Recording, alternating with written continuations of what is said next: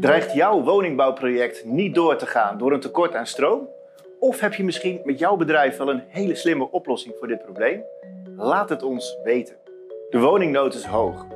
En we moeten er samen voor zorgen dat er straks nog stroom uit het stopcontact komt. Help jij ons mee om de woningbouw in Gelderland onder spanning te houden? Gewoon doen.